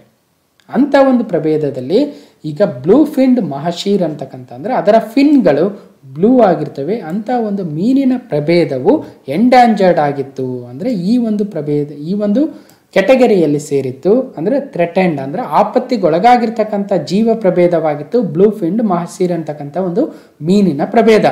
ಆದರೆ ಈಗ ಅದು ಏರಳವಾಗಿ ಕಂಡು ಬರ್ತಾ ಇದೆ. ಅದರ ಒಂದು ಪ್ರೊಟೆಕ್ಷನ್ ಅದರ ಒಂದು ಕನ್ಸರ್ವೇಷನ್ ಸಾಕಷ್ಟು ಪ್ರಮಾಣದಲ್ಲಿ ಆಗಿರೋದ್ರಿಂದ ಇವಾಗ ಅದು ಹೆಚ್ಚಿನ ಪ್ರಮಾಣದಲ್ಲಿ ಬ್ಲೂಫಿನ್ ಮಾಸಿರ್ ಫಿಶ್ ಕಂಡು ಬರ್ತಾ ಇದೆ. ಹಾಗಾಗಿ ಅದನ್ನು ಮತ್ತೆ ಈಗ ಲೀಸ್ಟ್ ಕನ್ಸರ್ನ್ಡ್ ಅಂದರೆ ಅದನ್ನು ಕನ್ಸರ್ನ್ ಮಾಡ್ತಕ್ಕಂಥ ಅವಶ್ಯಕತೆ ಇಲ್ಲ. ಯಾಕಂದರೆ ಅದು ಏರಳವಾಗಿದೆ ಅಂತಕ್ಕಂಥ ಒಂದು ಲಿಸ್ಟಲ್ಲಿ ಐ ಯು ಸಿಯನ್ನು ಸೇರಿಸಿದೆ. ಹಾಗಾಗಿ ಬ್ಲೂಫಿನ್ ಮಾಸಿರು ಥ್ರೆಟನ್ ಸ್ಪೀಸೀಸಿಂದ ಅಥವಾ I U C N red ಲಿಸ್ಟಿಂದ ಈಗ ಹೊರಗಡೆ ಬಂದಿದೆ. I U C N red ಲಿಸ್ಟಲ್ಲಿ ಇದ್ದರೆ ಅದು ಈ ಮೂರಲ್ಲಿ ಒಂದರಲ್ಲಿ ಇರುತ್ತೆ ಈಗ ಅದರಿಂದ ಹೊರಗಡೆ ಬಂದಿರೋದ್ರಿಂದ ಅದು ಸಾಕಷ್ಟು ಸಂಖ್ಯೆಯಲ್ಲಿದೆ. ಅದರದ ಒಂದು near ಫ್ಯೂಚರಲ್ಲಿ it will not extinct because it's it is having a very large number ಅಂತ. ಓಕೆ ನೋಡಿ blue field mahseer out of I U C N red list ಇದನ್ನು ಸಂರಕ್ಷಣೆ ಮಾಡಿರ್ತಕ್ಕಂಥ ಸಂಸ್ಥೆ ಟಾಟಾ ಪವರ್ ಅವರು ಅಥವಾ ಟಾಟಾ ಗ್ರೂಪ್ ಅವರು. ಅವರು ಲೋನಾವಾಲಾದಲ್ಲಿ ಒಂದು ಐವತ್ತು ವರ್ಷಗಳಿಂದ ಬ್ಲೂ ಫಿಂಡ್ ಮಾಸೀರ್ ಮತ್ತು ಗೋಲ್ಡನ್ ಮಾಸೀರ್ಗಳನ್ನು ಸಂರಕ್ಷಣೆ ಮಾಡ್ತಾ ಬರ್ತಾ ಇದ್ದಾರೆ. ಈಗ ಬ್ಲೂ ಫಿಂಡ್ ಮಾಸೀರು ಸಾಕಷ್ಟು ಸಂಖ್ಯೆಯಲ್ಲಿ ಬೆಳವಣಿಗೆಯನ್ನು ಕಂಡಿದೆ. ಆದರೆ ಗೋಲ್ಡನ್ ಮಾಸಿರು ಇನ್ನೂ ಕೂಡ ಡೇಂಜರಲ್ಲಿದೆ ಅಂತಕ್ಕಂಥದ್ದು ಇಲ್ಲಿ ಗಮನಿಸಬೇಕು. ಓಕೆ. ಒಟ್ಟಾರೆಯಾಗಿ ಬ್ಲೂ ಮಾಸಿರೀಗ ಎನ್ ರೆಡ್ ಲಿಸ್ಟಿಂದ ಹೊರಗಡೆ ಬಂದಿದೆ. ಇದನ್ನು ಸಂರಕ್ಷಣೆ ಮಾಡಿರ್ತಕ್ಕಂಥ ಸಂಸ್ಥೆ ಟಾಟಾ ಪವರು. ಇನ್ನು ಗೋಲ್ಡನ್ ಮಹಸೀರು ಇನ್ನೂ ರೆಡ್ ಲಿಸ್ಟಲ್ಲಿ ಇದೆ ಓಕೆ. ಸೊ ನೆಕ್ಸ್ಟ್ ಒಂಬತ್ತನೇ ಪ್ರಶ್ನೆ senior care ageing growth engine S A G E ಯೋಜನೆ. ಇದು ಕೂಡ ವೆರಿ ಇಂಪಾರ್ಟೆಂಟ್ ಯೋಜನೆ ಆಗುತ್ತೆ. ಸೆಂಟ್ರಲ್ ಗೌರ್ಮೆಂಟ್ ಇದು. ನೋಡಿ ಸೇಜ್ ಪ್ರಾಜೆಕ್ಟ್ ಅಂತ ಕರಿತಾರೆ. Senior care ageing growth engine ಅಂತ. ಯಾಕೆ ತಂದಿದ್ದಾರೆ ಅಂದರೆ, ಈಗ ನೋಡಿ, ಭಾರತದಲ್ಲಿ ಪ್ರಸ್ತುತ ಅಂದರೆ ಎರಡು ಸಾವಿರದ ಇಪ್ಪತ್ತರ ಪ್ರಕಾರ ಒಟ್ಟು one thirty four million old age people ಇದ್ದಾರೆ. ಅಂದರೆ ಹದಿಮೂರು ಕೋಟಿಗಿಂತಲೂ ಹೆಚ್ಚಿನ ಒಂದು ಎಲ್ಡರ್ಲಿ ಪಾಪ್ಯುಲೇಷನ್ ಇದೆ. ಅಂದರೆ ವಯಸ್ಸಾಗಿರ್ತಕ್ಕಂಥ ಒಂದು ಪಾಪ್ಯುಲೇಷನ್ನು ಜನಸಂಖ್ಯೆ ನಮ್ಮ ದೇಶದಲ್ಲಿದೆ, ಸುಮಾರು ಹದಿಮೂರು ಕೋಟಿ. ಎರಡು ಸಾವಿರದ ಐವತ್ತರ ವೇಳೆಗೆ ಇದು ಮೂವತ್ತು ಕೋಟಿ ಆಗ್ಬೋದು ಅಂತಕ್ಕಂಥ ಒಂದು ಅಂದಾಜು ಕೂಡ ಇದೆ. ಹಾಗಾದರೆ ಭಾರತದ ಓಲ್ಡ್ ಏಜ್ ಪೀಪಲ್ ಇವತ್ತೇನು ಹದಿಮೂರು ಕೋಟಿ ಜನ ಇದ್ದಾರೋ ಎಷ್ಟು ಸಂಖ್ಯೆ ಇದೆ ಅಂತ ನಾವು ಬೇರೆ ದೇಶಕ್ಕೆ ಕಂಪೇರ್ ಮಾಡೋದಾದರೆ, ಮೆಕ್ಸಿಕೋ ದೇಶದ ಮತ್ತು ರಷ್ಯಾದ ಒಟ್ಟು ಪಾಪ್ಯುಲೇಷನ್ಗೆ ಈಕ್ವಲ್ ಆಗೋಷ್ಟು ನಮ್ಮ ಓಲ್ಡ್ ಏಜ್ ಪೀಪಲ್ ಇದ್ದಾರೆ ಎಲ್ಡರ್ಲಿ ಪಾಪ್ಯುಲೇಷನ್ ಇದೆ ಅಂತಕ್ಕಂಥದ್ದು, ವಯಸ್ಸಾಗಿರ್ತಕ್ಕಂಥ ಅಂದರೆ ಎಪ್ಪತ್ತು, ಎಂಬತ್ತು ವಯಸ್ಸು ಆಗಿರ್ತಕ್ಕಂಥವ್ರು ಇದ್ದಾರೆ ಅಂತಕ್ಕಂಥ ಅಂದರೆ ಬೇರೆ ದೇಶದ ಒಟ್ಟು ಜನಸಂಖ್ಯೆಯಷ್ಟು ನಮ್ಮ ದೇಶದಲ್ಲಿ ಓಲ್ಡ್ ಏಜ್ ಪೀಪಲ್ ಇದ್ದಾರೆ. ಮುಂದಿನ ದಿನಗಳಲ್ಲಿ, ಅಂದರೆ ಎರಡು ಸಾವಿರದ ಐವತ್ತಕ್ಕೆ ಇವತ್ತೇನು ನಮ್ಮ ಅಮೇರಿಕಾದಲ್ಲಿರ್ತಕ್ಕಂಥ ಒಟ್ಟು ಪಾಪ್ಯುಲೇಷನ್ನಷ್ಟು ಜನ ನಮ್ಮ ಎಲ್ಡರ್ಲಿ ಪಾಪ್ಯುಲೇಷನ್ ಆಗುತ್ತೆ ಎರಡು ಸಾವಿರದ ಐವತ್ತಕ್ಕೆ. ಹಾಗಾದರೆ ನಮ್ಮ ದೇಶ ಏನು ಒಂದು ಕೇರನ್ನು ತೆಗೆದುಕೊಳ್ಬೇಕಾಗುತ್ತೆ ಅಂದರೆ ಅದಕ್ಕೋಸ್ಕರ ಸೇಜ್ ಅಂತಕ್ಕಂಥ ಪ್ರಾಜೆಕ್ಟನ್ನು ತಂದಿದ್ದಾರೆ. ಓಲ್ಡ್ ಏಜ್ ಪೀಪಲ್ಗೆ ಸಹಾಯ ಮಾಡ್ತಕ್ಕಂಥ ಸ್ಟಾರ್ಟಪ್ಗಳಿಗೆ ಪ್ರಮೋಟ್ ಮಾಡ್ತಕ್ಕಂಥ ಯೋಜನೆಯೇ ಸೇಜ್ ಆ ಸ್ಟಾರ್ಟಪ್ಗಳು ಏನು ಮಾಡ್ತಾರೆ? ಆ ಕಂಪನಿಗಳು ಏನು ಮಾಡ್ತಾರೆ? ಆ ಸಂಸ್ಥೆಗಳು ಏನು ಮಾಡ್ತವೆ ಅಂದರೆ ಓಲ್ಡ್ ಏಜ್ ಪೀಪಲ್ಗೆ ಬೇಕಾಗಿರ್ತಕ್ಕಂಥ ಒಂದಷ್ಟು ಫೆಸಿಲಿಟಿಗಳನ್ನು ನೀಡ್ತಾ ಹೋಗ್ತಾರೆ. ಅದು ಆರೋಗ್ಯದ್ದಾಗಿರ್ಬೋದು ಅಥವಾ ಅವರಿಗೆ ಬೇಕಾಗಿರ್ತಕ್ಕಂಥ ಸೇವೆಗಳಾಗಿರ್ಬೋದು, ಅವೆಲ್ಲ ಸೇವೆಗಳನ್ನು ನೀಡ್ತಕ್ಕಂಥ ಸ್ಟಾರ್ಟಪ್ಗಳಿಗೆ ಪ್ರಮೋಷನ್ ಮಾಡ್ತಕ್ಕಂಥ ಒಂದು ವ್ಯವಸ್ಥೆಯನ್ನು ತರ್ತಾ ಇದ್ದಾರೆ. ಅದೇ ಸೇಜ್ ಪ್ರಾಜೆಕ್ಟ್ ಆಗುತ್ತೆ. ಇದನ್ನು ministry of social justice and empowerment ಅವರು ತರ್ತಾ ಇದ್ದಾರೆ. ಓಕೆ ಸೊ ಮುಂದೆ ಹೋಗೋಣ. ದೇವೇಗೌಡರು ಪ್ರಧಾನಿಯಾಗಿ ಇಪ್ಪತ್ತೈದು ವರ್ಷಗಳು ತುಂಬಿದವೆ. Twenty five years ago H D Deve Gowda took oath as P M J D S highlights its achievements okay ನೋಡಿ, ಕನ್ನಡ ನಾಡಿಗೆ ಗೌರವ ತಂದ ಗೌಡರು. ಇಳಿ ವಯಸ್ಸಿನಲ್ಲೂ ಹೋರಾಟ ಎಂದರೆ ಪುಟಿದೇಳುವ ಎಚ್ ಡಿ ದೇವೇಗೌಡ ಅವರು ಭಾರತದ ಮುತ್ಸದ್ದಿ ರಾಜಕಾರಣಿ. ಪ್ರಧಾನಿ ಹುದ್ದೆ ಅಲಂಕರಿಸಿದ ಮೊದಲ ಮತ್ತು ಏಕೈಕ ಕನ್ನಡಿಗರು ಸಹಿತ ದೇವೇಗೌಡರಾಗ್ತಾರೆ. ಆ ಅಭೂತಪೂರ್ವ ಕ್ಷಣಕ್ಕೆ ಈಗ ಬೆಳ್ಳಿ ಹಬ್ಬದ ಸಂಭ್ರಮ. ಸುದೀರ್ಘ ರಾಜಕೀಯ ಜೀವನದಲ್ಲಿ ಅವರು ಅಧಿಕಾರದಲ್ಲಿದ್ದಿದ್ದು ಸ್ವಲ್ಪ ಅವಧಿಗೆ ಮಾತ್ರ. ಆದರೆ ನಾಡು ನುಡಿಯಡಿಗಿನ ಬದ್ಧತೆ, ರೈತರು ಬಡವರ ಬದುಕು ಹಸನುಗೊಳಿಸಲು ಅವರು ನೀಡಿದ ಕೊಡುಗೆ ಅನನ್ಯ, ಅನುಪಮ. ನಿಜಾರ್ಥದಲ್ಲಿ ಅವರು ದೇಶ ಕಂಡ ಏಕೈಕ ಮಣ್ಣಿನ ಮಗ. ಹಾಗಾದರೆ ಅವರು ಯಾವ ಯಾವ ಕಾರ್ಯಕ್ರಮಗಳನ್ನು ತಂದಿದ್ರು ಅಂತ ನೋಡೋದಾದರೆ ನೋಡಿ, ತವರೂರಿಗೆ ಅಗಣಿತ ನೆರವನ್ನು ನೀಡಿದ್ರು. ಕರ್ನಾಟಕಕ್ಕೆ ಪ್ರತ್ಯೇಕ ರೈಲ್ವೆ ವಲಯ ಮತ್ತು ಹುಬ್ಬಳ್ಳಿ ರೈಲ್ವೆ ವರ್ಕ್ಶಾಪ್ಗೆ ಕಾಯಕಲ್ಪ. ರಾಜ್ಯದಲ್ಲಿ ಸುಮಾರು ಸಾವಿರ ಕಿಲೋಮೀಟರ್ಗಳ ರೈಲ್ವೆ ಮಾರ್ಗಕ್ಕೆ ಅನುಮೋದನೆಯನ್ನು ನೀಡಿದ್ರು. ಉತ್ತರ ಕರ್ನಾಟಕಕ್ಕೆ ಹದಿನೇಳು ಹೊಸ ಸಕ್ಕರೆ ಕಾರ್ಖಾನೆಗಳಿಗೆ ಪ್ರ, ಒಂದು ತಂದಿದ್ರು ಅಂತಕ್ಕಂಥದ್ದು. ರಾಜ್ಯದ U K P upper Krishna project ಏನಿದೆಯೋ, ಅದಕ್ಕೆ ಸಾವಿರಾರು ಕೋಟಿ ರೂಪಾಯಿಗಳ ಹಣವನ್ನು ಕೇಂದ್ರದಿಂದ ನೀಡಿದ್ರು. ಓಕೆ. ಈ ನಮ್ಮ ಆಲ್ಮಟ್ಟಿ ಮತ್ತು ನಾರಾಯಣಪುರ ಡ್ಯಾಮ್ಗಳೇನಿದ್ದಾವೆ ಈ ಯು ಕೆ ಪಿ ಪ್ರಾಜೆಕ್ಟಲ್ಲಿ ಬರ್ತವೆ. ನೆಕ್ಸ್ಟ್ ಭದ್ರಾವತಿ ಉಕ್ಕಿನ ಕಾರ್ಖಾನೆಗೆ ಒಂದಷ್ಟು ಸಹಾಯವನ್ನು ಮಾಡಿದ್ರು. ರಕ್ಷಣಾ ಇಲಾಖೆಯ ಜಾಗ ಬಿ ಬಿ ಎಂ ಹಸ್ತಾಂತರ, ಕೇಂದ್ರದ ಉದ್ಯಮಗಳಿಗೆ ಮರುಜೀವ, ಕಾರ್ಮಿಕರಿಗೆ ನೆರವನ್ನು ನೀಡಿದ್ರು, ಬೆಂಗಳೂರಿಗೆ ಮೂಲಸೌಕರ್ಯವನ್ನು ನೀಡಿದ್ರು. ಗ್ರಾಮೀಣಾಭಿವೃದ್ಧಿಗೆ ವಿಶೇಷ ಆದ್ಯತೆಯನ್ನು, ಬಡವರಿಗೆಲ್ಲ ಪಡಿತರ ಅನ್ನಭಾಗ್ಯ ಅಂಕುರವನ್ನು ಈ ಎಲ್ಲ ಕಾರ್ಯಕ್ರಮಗಳನ್ನು ಅವರು ಪ್ರಧಾನಿಯಾಗಿದ್ದಾಗ ತಂದಿದ್ರು. ಮತ್ತು ಆಲಮಟ್ಟಿ ಅಣೆಕಟ್ಟು ಎತ್ತರ ಹೆಚ್ಚಳಕ್ಕೆ ಅನುಮೋದನೆಯನ್ನು ಕೂಡ ನೀಡಿದ್ರು ಅಂತಕ್ಕಂಥದ್ದು. ಇವೆಲ್ಲ ಬಹಳಷ್ಟು ಒಂದು ಒಳ್ಳೆಯ ಕಾರ್ಯಕ್ರಮವನ್ನು ದೇವೇಗೌಡರು ತಾವು ಪ್ರಧಾನಿಯಾಗಿದ್ದಾಗ ನಮ್ಮ ಕರ್ನಾಟಕಕ್ಕೆ ನೀಡಿರ್ತಕ್ಕಂಥ ಕೊಡುಗೆಗಳಾಗ್ತವೆ. ಓಕೆ, ಹಾಗಾದರೆ ಎಚ್ ಡಿ ದೇವೇಗೌಡ ಅವರು ಯಾವಾಗ ಪ್ರಧಾನಮಂತ್ರಿ ಆಗಿದ್ದರು ಎಷ್ಟನೇ ಪ್ರಧಾನಮಂತ್ರಿ ಆಗಿದ್ದರು ಅನ್ನೋದಾದರೆ ಭಾರತದ ಹನ್ನೊಂದನೇ ಪ್ರಧಾನಮಂತ್ರಿಗಳಾಗಿದ್ದರು ಎಚ್ ಡಿ ದೇವೇಗೌಡ ಅವರು. ಯಾವಾಗಿಂದ ಅಂದರೆ ನೋಡಿ ಹತ್ತೊಂಬತ್ತು ನೂರ ತೊಂಬತ್ತಾರು ಜೂನ್ ಒಂದರಿಂದ ಇಪ್ಪತ್ತೊಂದು ಏಪ್ರಿಲ್ ಹತ್ತೊಂಬತ್ತು ನೂರ ತೊಂಬತ್ತೇಳರವರೆಗೂ ಪ್ರಧಾನಮಂತ್ರಿಗಳಾಗಿದ್ದರು ನಮ್ಮ ಕನ್ನಡದ ಎಚ್ ಡಿ ದೇವೇಗೌಡ ಅವರು ಓಕೆ ನೆಕ್ಸ್ಟು ಗೃಹ ಮಂತ್ರಿಗಳು ಕೂಡ ಅವರೇ ಆಗಿದ್ದರು ಒಂದಷ್ಟು ತಿಂಗಳುಗಳ ಕಾಲ. ಇನ್ನಷ್ಟು ವಿಶೇಷ ಅಂದರೆ ಅವರು ಕರ್ನಾಟಕದ ಹದಿನಾಲ್ಕನೇ ಮುಖ್ಯಮಂತ್ರಿಗಳು ಕೂಡ ಆಗಿದ್ದರು ಹನ್ನೊಂದು ಡಿಸೆಂಬರ್ ಹತ್ತೊಂಬತ್ತು ನೂರ ತೊಂಬತ್ನಾಲ್ಕರಿಂದ ಮೂವತ್ತೊಂದು ಮೇ ಹತ್ತೊಂಬತ್ತು ನೂರ ತೊಂಬತ್ತಾರರವರೆಗೂ ಅವರು ಮುಖ್ಯಮಂತ್ರಿಗಳಾಗಿದ್ದರು ಆಗ ನಡೆದಿರ್ತಕ್ಕಂಥ ಒಂದು ಎಲೆಕ್ಷನಲ್ಲಿ ದೇವೇಗೌಡ ಅವರು ಪ್ರಧಾನಮಂತ್ರಿಗಳಾಗಿ ಕರ್ನಾಟಕದ ಮುಖ್ಯಮಂತ್ರಿ ಸ್ಥಾನಕ್ಕೆ ರಾಜೀನಾಮೆಯನ್ನು ನೀಡ್ತಾರೆ.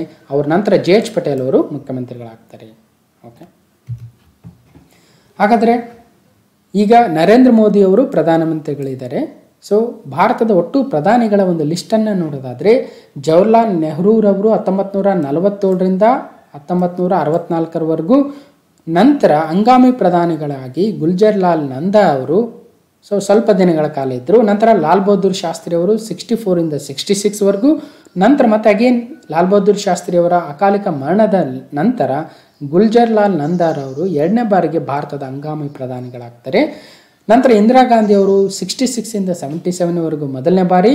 ಅವ್ರ ನಂತರ ಮೊರಾರ್ಜಿ ದೇಸಾಯಿ ಅವರು ಕಾಂಗ್ರೆಸ್ಸೇತರ ಮೊದಲ ಪ್ರಧಾನಮಂತ್ರಿಗಳಾಗಿ ಸೆವೆಂಟಿ ಸೆವೆನಿಂದ ಸೆವೆಂಟಿ ನೈನ್ವರೆಗಿದ್ದರು ನಂತರ ಚರಣ್ ಸಿಂಗ್ ಅವರು ಮತ್ತು ಇಂದಿರಾ ಗಾಂಧಿ ಅವರು ಏಯ್ಟಿಯಿಂದ ಏಯ್ಟಿ ಫೋರ್ ಅವರೆಗೂ ಆ, ಪ್ರಧಾನಮಂತ್ರಿಗಳಾಗಿದ್ದರು ಅವ್ರ ನಂತರ ರಾಜೀವ್ ಗಾಂಧಿ ಅವರು ವಿ ಪಿ ಸಿಂಗ್ ಅವರು ಚಂದ್ರಶೇಖರ್ ಅವರು ಪಿ ವಿ ನರಸಿಂಹರಾವ್ ಅವರು ಅಟಲ್ ಬಿಹಾರಿ ವಾಜಪೇಯಿ ಅವರು ಕೇವಲ ಕೆಲವೇ ದಿನಗಳವರೆಗೆ ಪ್ರಧಾನಮಂತ್ರಿಗಳಾಗಿದ್ದರು ಅವ್ರ ನಂತರ ದೇಶದ ಹನ್ನೊಂದನೇ ಪ್ರಧಾನಿಗಳಾಗಿ ದೇವೇಗೌಡ ಅವರವರು ತೊಂಬತ್ತಾರರಿಂದ ತೊಂಬತ್ತೇಳರವರೆಗೆ ಇದ್ದರು ನಂತರ ಐ ಕೆ ಗುಜರಾಲ್ ಅಟಲ್ ಬಿಹಾರಿ ವಾಜಪೇಯಿ, ಮನಮೋಹನ್ ಸಿಂಗ್ ಮತ್ತು ಈಗ ನರೇಂದ್ರ ಮೋದಿ ಅವರು. ಓಕೆ ಹಾಂ next question question number eleven ಭಾರತದ ಜಿ ಡಿ ಪಿ ಆರ್ಥಿಕ ವರ್ಷ ಎರಡು ಸಾವಿರದ ಇಪ್ಪತ್ತೊಂದರ ಒಟ್ಟು ಮೌಲ್ಯ ಎಷ್ಟಿದೆ ಮತ್ತು ನಾಲ್ಕನೇ ತ್ರೈಮಾಸಿಕದ ಹೊಸ ಅಪ್ಡೇಟ್ ಏನಿದೆ? ಓಕೆ ಸೊ ಒಟ್ಟಾರೆಯಾಗಿ financial year two thousand twenty ಒನ್ನಲ್ಲಿ ಅಂದರೆ ಟೂ ತೌಸಂಡ್ ಟ್ವೆಂಟಿ ಟ್ವೆಂಟಿ ಒನ್ನಲ್ಲಿ ಮೈನಸ್ ಸೆವೆನ್ ಪಾಯಿಂಟ್ ತ್ರೀಗೆ ಇಳಿದಿದೆ ಅಂತಕ್ಕಂಥದ್ದು. ಮತ್ತು ಕ್ಯೂ ಫೋರಲ್ಲಿ ಅಂದರೆ ಕ್ವಾರ್ಟರ್ ಫೋರಲ್ಲಿ ಒನ್ ಪಾಯಿಂಟ್ ಸಿಕ್ಸ್ ಪರ್ಸೆಂಟ್ಗೆ ನಿಂತಿದೆ ಅಂತಕ್ಕಂಥ ಹಾಗಾದರೆ ಒಟ್ಟಾರೆಯಾಗಿ ಟೋಟಲ್ ಕೇಳ್ತಕ್ಕಂಥ ಚಾನ್ಸಸ್ ಇರುತ್ತೆ ನೋಡೋಣ. ಸೊ ಇಲ್ಲಿ ಒಂದು ಲಾಸ್ಟ್ ಫ್ಯೂ ಕ್ವಾರ್ಟರ್ಸ್ ನೋಡೋದಾದರೆ financial year two thousand twenty ಒನ್ನಲ್ಲಿ ನೋಡಿ ಮೊದಲನೇ ಕ್ವಾರ್ಟ್ರಲ್ಲಿ ಮೈನಸ್ ಟ್ವೆಂಟಿ ಫೋರ್ ಪಾಯಿಂಟ್ ಫೋರ್ಗೆ ಇಳಿದಿತ್ತು. ಯಾಕಂದರೆ ಕೋವಿಡ್ ನೈನ್ಟೀನ್ ಪ್ಯಾಂಡಮಿಕ್ ಟೈಮಲ್ಲಿ ಏನಾಯಿತು? ಲಾಕ್ಡೌನ್ಗಳಾದವು ಅದಕ್ಕೋಸ್ಕರ ಇಷ್ಟು ಕಡಿಮೆ ಆಯಿತು. ಅದಾದಮೇಲೆ ಲಾಕ್ಡೌನ್ ಓಪನ್ ಆದ ನಂತರ ಜಿ ಡಿ ಪಿ ಸ್ವಲ್ಪ ಗ್ರೋತ್ ಆಗಿ ಮೈನಸ್ ಸೆವೆನ್ ಪಾಯಿಂಟ್ ತ್ರೀಗೆ ಸ್ವಲ್ಪ ಏರಿತ್ತು ಅಂದರೆ ಸ್ವಲ್ಪ ಇಂಪ್ರೂವ್ಮೆಂಟ್ ಕಂಡಿತ್ತು. ನಂತರ ಪಾಸಿಟಿವ್ ಬಂತು ಕ್ವಾರ್ಟರ್ ತ್ರೀಯಲ್ಲಿ ಮೂರನೇ ತ್ರೈಮಾಸಿಕದಲ್ಲಿ ಪಾಯಿಂಟ್ ಫೋರ್ ಆಯಿತು.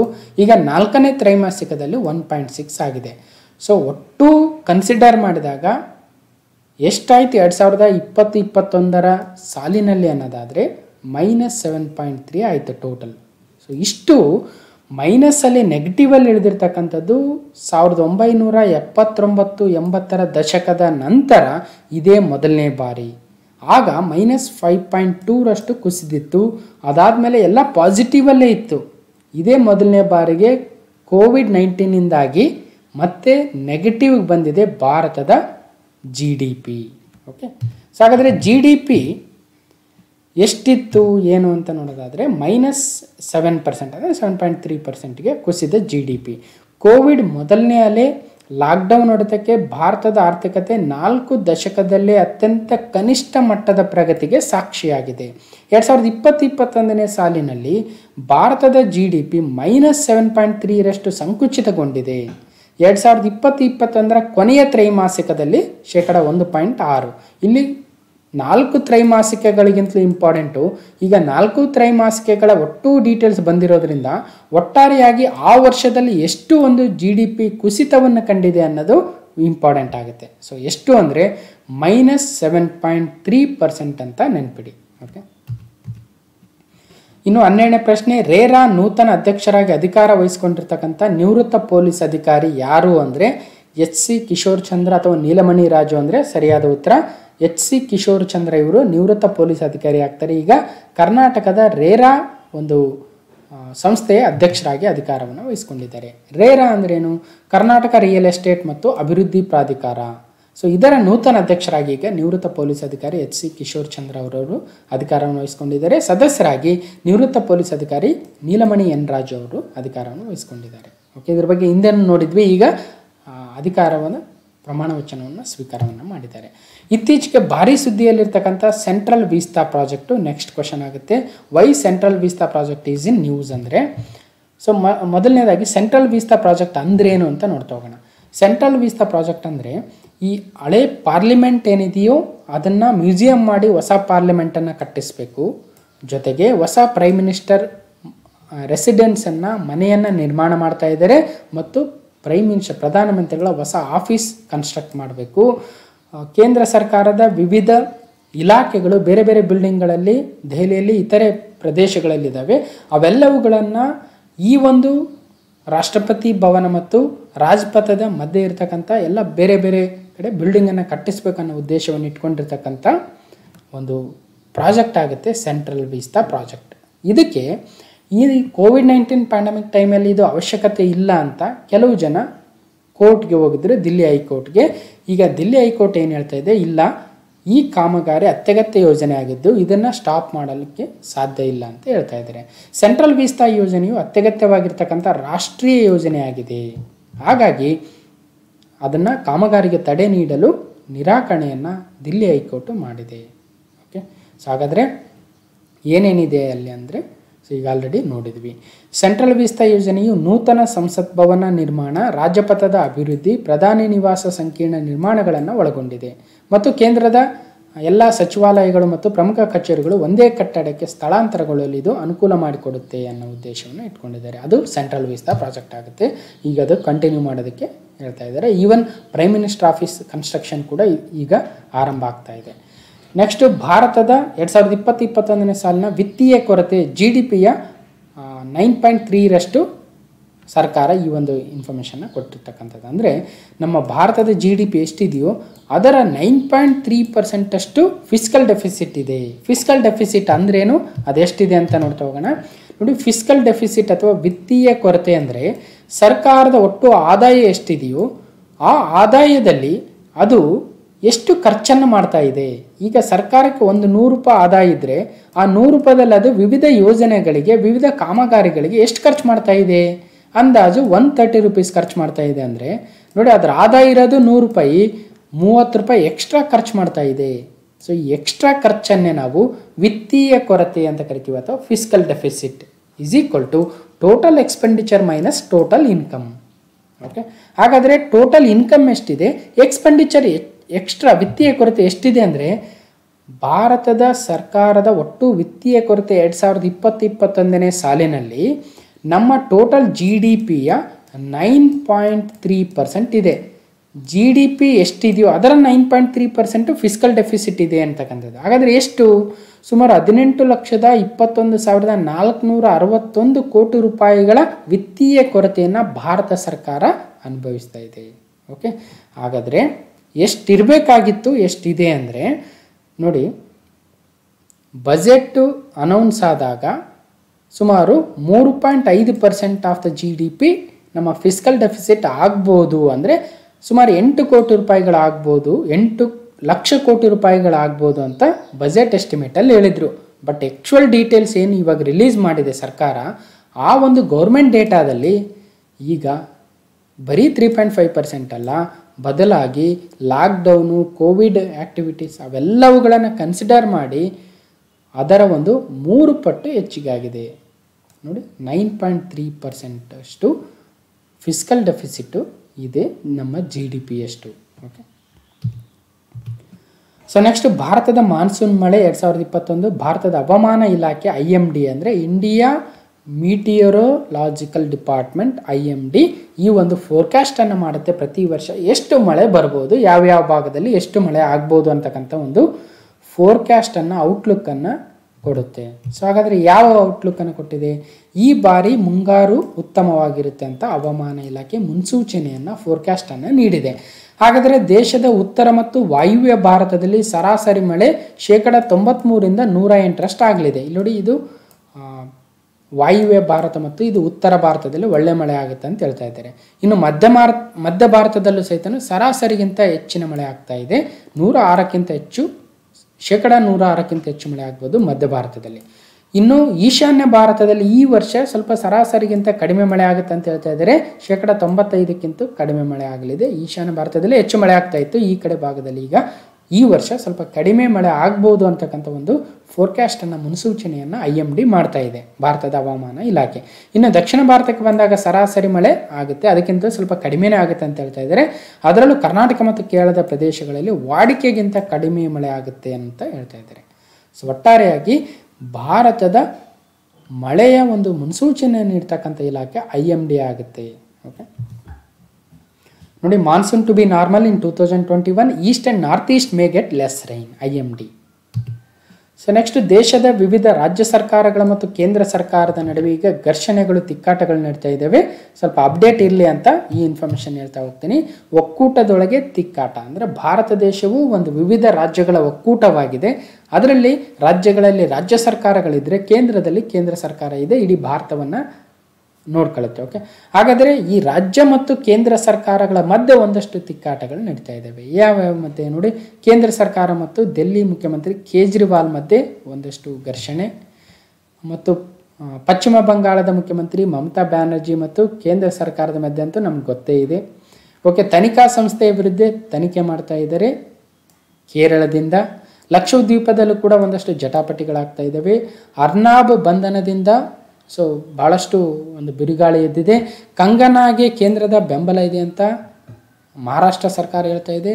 ಕೋಶಿಯಾರಿ ಅಂದರೆ ಮಹಾರಾಷ್ಟ್ರದ ರಾಜ್ಯಪಾಲರಾಗಿರ್ತಕ್ಕಂಥ ಭಗತ್ ಸಿಂಗ್ ಕೋಶಿಯಾರಿ ಮತ್ತು ಅಲ್ಲಿನ ಮುಖ್ಯಮಂತ್ರಿ ಉದ್ಧವ್ ಠಾಕ್ರೆ ಮಧ್ಯೆ ಒಂದಷ್ಟು ಜಟಾಪಟಿಗಳಾಗ್ತಾ ಇದ್ದಾವೆ.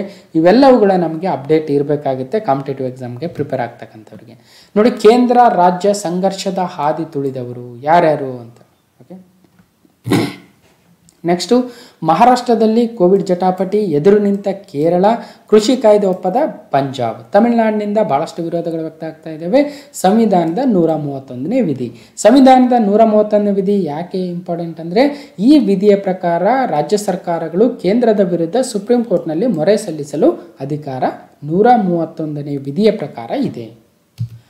ಸೊ ಇನ್ನು ದೇಶದ ವಿವಿಧ ಪ್ರಾದೇಶಿಕ ಪಕ್ಷಗಳ ಮತ್ತು ರಾಷ್ಟ್ರೀಯ ಪಕ್ಷಗಳು ಒಂದು ನೋಟ. Different regional parties national parties ಯಾವ್ಯಾವಿದ್ದಾವೆ ಅವು ಯಾಕೆ ಸುದ್ದಿಲಿದ್ದಾವೆ ನೋಡಿ, ಸಾಮರ್ಥ್ಯ ವರ್ಧಿಸಿಕೊಳ್ಳಲು ಎಣೆಗಾಡುತ್ತಿರುವ ಕಾಂಗ್ರೆಸ್ ಪಕ್ಷ, ಬಲಾಢ್ಯ ಬಿ ಜೆ ಪಿಗೆ ಪ್ರಾದೇಶಿಕ ಪಕ್ಷಗಳೇ ಸವಾಲು. ಈಗ ಎರಡು ಸಾವಿರದ ಹತ್ತೊಂಬತ್ತರ ಸಾರ್ವತ್ರಿಕ ಚುನಾವಣೆಯಲ್ಲಿ ಬಿ ಜೆ ಪಿ ಭರ್ಜರಿ ಜಯಗಳಿಸಿ ಈಗ ಅಧಿಕಾರಕ್ಕೆ ಬಂದಿದೆ. ಮತ್ತು ಎರಡು ಸಾವಿರದ ಇಪ್ಪತ್ನಾಲ್ಕರಲ್ಲಿ ಏನಾಗ್ಬೋದು ಅನ್ನೋದಕ್ಕೆ ಒಂದಷ್ಟು ಚರ್ಚೆಗಳೇ ನಡೀತಾ ಇದ್ದಾವೆ ಹಾಗಾದರೆ ರಾಷ್ಟ್ರೀಯ ಪಕ್ಷಗಳಾಗಿರ್ತಕ್ಕಂಥ ಬಿ ಜೆ ಪಿ ಕಾಂಗ್ರೆಸ್ನಲ್ಲಿ ಬಿ ಜೆ ಪಿ ಬಲಾಢ್ಯವಾಗಿದ್ದರೆ ಕಾಂಗ್ರೆಸ್ಸು ಸಾಮರ್ಥ್ಯವನ್ನು ಹೆಚ್ಚಿಸಿಕೊಳ್ಳಲು ಪರದಾಡ್ತಾ ಇದೆ. ಹಾಗಾದರೆ ಬಿ ಜೆ ಪಿಗೆ ಈಗ ಪ್ರಾದೇಶಿಕ ಪಕ್ಷಗಳೇ ಸವಾಲನ್ನು ನೋಡ್ತಾ ಇದ್ದೇವೆ. ಯಾವ್ಯಾವು? ನೋಡಿ, ತೆಲಂಗಾಣದಲ್ಲಿ ಟಿ ಆರ್ ಎಸ್ಸು, ಕೇರಳದಲ್ಲಿ ಎಡಪಕ್ಷಗಳು ಮತ್ತು ಆಂಧ್ರ ಪ್ರದೇಶದಲ್ಲಿ ವೈ ಎಸ್ ಆರ್ ಕಾಂಗ್ರೆಸ್ಸು ಮತ್ತು ಒಡಿಶಾದಲ್ಲಿ ಬಿಜು ಜನತಾದಳ ನೋಡಿ. ಇನ್ನು ಪಶ್ಚಿಮ ಬಂಗಾಳದಲ್ಲಿ ತೃಣಮೂಲ ಕಾಂಗ್ರೆಸ್ಸು, ದಿಲ್ಲಿಯಲ್ಲಿ ಆಮ್ ಆದ್ಮಿ ಪಕ್ಷ, ತಮಿಳುನಾಡಿನಲ್ಲಿ ಡಿ ಎಂ ಕೆ, ಸೊ ಇಷ್ಟೆಲ್ಲ ಈವನ್ ಉತ್ತರ ಪ್ರದೇಶದಲ್ಲಿ ಎಸ್ ಪಿ, ಬಿ ಎಸ್ ಪಿಗಳಾಗಿರ್ಬೋದು, ಇವೆಲ್ಲವೂ ಬಿ ಜೆ ಪಿಗೆ ಒಂದು ಪ್ರತಿಸ್ಪರ್ಧಿಗಳಾಗ್ತಾ ಇದ್ದಾರೆ ಸೊ ಇಷ್ಟು ಅಪ್ಡೇಟ್ ಇಲ್ಲಿ. ಇನ್ನು ಕಾಂಗ್ರೆಸ್ ಮತ್ತು ಕಾಂಗ್ರೆಸ್ ಮಿತ್ರ ಪಕ್ಷಗಳು ಸಿ ಎಮ್ಗಳಿರ್ತಕ್ಕಂಥ ರಾಜ್ಯಗಳು ಯಾವ್ಯಾವ ಅನ್ನೋದಾದರೆ, ಪಂಜಾಬ್ನಲ್ಲಿ ಕಾಂಗ್ರೆಸ್ನ ಅಮರಿಂದರ್ ಸಿಂಗ್ ಛತ್ತೀಸ್ಗಢದಲ್ಲಿ ಕಾಂಗ್ರೆಸ್ನ ಭೂಪೇಶ್ ಬಗಲ್ ರಾಜಸ್ಥಾನದಲ್ಲಿ ಕಾಂಗ್ರೆಸ್ನ ಅಶೋಕ್ ಗೆಹ್ಲೆಟ್ ಮುಖ್ಯಮಂತ್ರಿಗಳಿದ್ದರೆ ಮಹಾರಾಷ್ಟ್ರದಲ್ಲಿ ಕಾಂಗ್ರೆಸ್ ಬೆಂಬಲಿತ ಶಿವಸೇನೆಯ ಉದ್ಧವ್ ಠಾಕ್ರೆರವರು, ಜಾರ್ಖಂಡ್ನಲ್ಲಿ ಕಾಂಗ್ರೆಸ್ ಬೆಂಬಲಿತ ಜೆ ಎಂ ಎಂ ಪಕ್ಷದ ಹೇಮಂತ್ ಸೊರೇನ್ ಅವರು ತಮಿಳುನಾಡಿನಲ್ಲಿ D M K again Congress ಬೆಂಬಲಿತ ಎಂ ಕೆ ಸ್ಟಾಲಿನ್ ಅವರು ಮುಖ್ಯಮಂತ್ರಿಗಳಿದ್ದಾರೆ. ಸೊ ಬೇರೆ ಬೇರೆ ಪರೀಕ್ಷೆಗಳಲ್ಲಿ ಕೇಳ್ಬೋದು. ಸೊ ನೆಕ್ಸ್ಟು ಹದಿನೆಂಟನೇ ಪ್ರಶ್ನೆ, ನ್ಯಾಯಮೂರ್ತಿ ಅರುಣ್ ಮಿಶ್ರಾ ರಾಷ್ಟ್ರೀಯ ಮಾನವ ಹಕ್ಕುಗಳ ಆಯೋಗದ, ಅಂದರೆ ಎನ್ ಎಚ್ ಆರ್ ಸಿಯ ಅಧ್ಯಕ್ಷರಾಗಿ ಅಧಿಕಾರವನ್ನು ಸ್ವೀಕರಿಸಿದ್ದಾರೆ. ವೆರಿ ಇಂಪಾರ್ಟೆಂಟ್ ಆಗುತ್ತೆ. Justice Arun Mishra takes over as National Human Rights Commission N H R sir N H R C chairman ಆಗಿದ್ದಾರೆ ಓಕೆ ನೋಡಿ Justice Arun Mishra National Human Rights Commission N H R C chairman ಆಗಿ ಅಧಿಕಾರವನ್ನು ವಹಿಸಿಕೊಂಡಿದ್ದಾರೆ. ಹಾಗಾದರೆ ಭಾರತದ ರಾಷ್ಟ್ರೀಯ ಮಾನವ ಹಕ್ಕುಗಳ ಆಯೋಗ ಹತ್ತೊಂಬತ್ತು ನೂರ ತೊಂಬತ್ತ್ಮೂರು ಹನ್ನೆರಡು ಅಕ್ಟೋಬರ್ ಅಂದು ಸ್ಟಾರ್ಟ್ ಆಗಿತ್ತು. ಪ್ರಧಾನ ಕಚೇರಿ ಎಲ್ಲಿದೆ ಅಂದರೆ ನವದೆಹಲಿಯಲ್ಲಿದೆ. ಈಗ ಪ್ರಸ್ತುತ ಯಾರು ಅದರ ಚೇರ್ಮನ್ ಅಂದರೆ ಜಸ್ಟಿಸ್ ಅರುಣ್ ಮಿಶ್ರಾ. ಹತ್ತೊಂಬತ್ತನೇ ಪ್ರಶ್ನೆ, ಪ್ಯಾಲೆಸ್ತೀನ್ ಜೊತೆಗಿನ ಉದ್ವಿಗ್ನತೆಯ ಮಧ್ಯೆ ಇಸ್ರೇಲ್ನ ಐಸಾಕ್ ಅರ್ಜೋಗ್ ಅವರನ್ನು ಹೊಸ ಅಧ್ಯಕ್ಷರನ್ನಾಗಿ ನೇಮಿಸಿದೆ. ಯಾವುದು? ಇಸ್ರೇಲ್ ದೇಶದ ಹೊಸ ಅಧ್ಯಕ್ಷರು ಯಾರು ಅಂತ ಪ್ರಶ್ನೆ ಬಂದರೆ ಐಸಾಕ್ ಅರ್ಜೋಗ್ ಅವರು. ಐಸಾಕ್ ಅರ್ಜೋಗ್ ಅವರು ಇಸ್ರೇಲ್ನ ಹೊಸ ಅಧ್ಯಕ್ಷರು. ಓಕೆ? ನೋಡಿ, ಇಸ್ರೇಲ್ ಎಲ್ಲಿ ಬರುತ್ತೆ ಅಂದರೆ, ಈ ಕಡೆ ಜೋರ್ಡನ್, ಸಿರಿಯಾ, ಈ ಕಡೆ ಈಜಿಪ್ಟ್ ಇದೆ. ಮಧ್ಯಪ್ರಾಚ್ಯದ ಒಂದು ದೇಶ ಇಸ್ರೇಲು. ಪ್ಯಾಲೆಸ್ತೇನ್ ಮತ್ತು ಇಸ್ರೇಲ್ಗಳ ಮಧ್ಯೆ ಬಹಳಷ್ಟು ಘರ್ಷಣೆಗಳು ಇತ್ತೀಚಿನ ದಿನಗಳಲ್ಲಿ ಆಗ್ತಾ ಇದ್ದಾವೆ. ಗಾಜಾಪಟ್ಟಿಗಾಗಿ ವೆಸ್ಟ್ ಬ್ಯಾಂಕ್ಗೋಸ್ಕರ. ಓಕೆ? ಸೊ, ಹಾಗಾಗಿ ಇಸ್ರೇಲ್ ಭಾಳ ಸುದ್ದಿಯಲ್ಲಿದೆ. ಅದರ ಅಧ್ಯಕ್ಷರು ಈಗ ಯಾರಂದರೆ ಐಸರ್ ಅರ್ಜಾಗ್ ಅವರು. ಸೊ, ನೆಕ್ಸ್ಟು ಇಪ್ಪತ್ತನೇ ಪ್ರಶ್ನೆ. U A U E F A ಅಂದರೆ ಯುರೋಪಿಯನ್ ಚಾಂಪಿಯನ್ಶಿಪ್ ಫುಟ್ಬಾಲ್ದೇನಿದೆಯೇ ಅದು ಈಗ ಆರಂಭ ಆಗಿದೆ. ಹಾಗಾದರೆ ಯೂರೋ ಕಪ್ ಯಾವುದಕ್ಕೆ ಸಂಬಂಧಿಸಿದೆ ಅಂದರೆ ಫುಟ್ಬಾಲಿಗೆ ಸಂಬಂಧಿಸಿದೆ. ಯಾವ ಖಂಡದಲ್ಲಿ ನಡೆಯುತ್ತೆ ಅಂದರೆ ಯುರೋಪಲ್ಲಿ ನಡೆಯುತ್ತೆ ಓಕೆ ನೋಡಿ, ಇದರಲ್ಲಿ ಒಂದಷ್ಟು ಗ್ರೂಪ್ಗಳನ್ನ ಮಾಡಿಕೊಂಡು ಈಗ ನಡೀತಾ ಇದೆ euro cup two thousand twenty ಅಥವಾ ಟೂ ತೌಸಂಡ್ ಟ್ವೆಂಟಿ ಒನ್ನು ಅದ್ರ ಬಗ್ಗೆ ಇನ್ನಷ್ಟು ಡೀಟೇಲ್ಸ್ ನೋಡೋದಾದರೆ, ಇದು ಹತ್ತೊಂಬತ್ತು ನೂರ ಐವತ್ತೆಂಟರಲ್ಲಿ ಅರವತ್ತ್ಮೂರು ವರ್ಷಗಳಿಂದ ಆರಂಭ ಆಗಿತ್ತು. U E F A European championship. U E F A ಅಂದರೆ Union of European Football Association ಆಗುತ್ತೆ.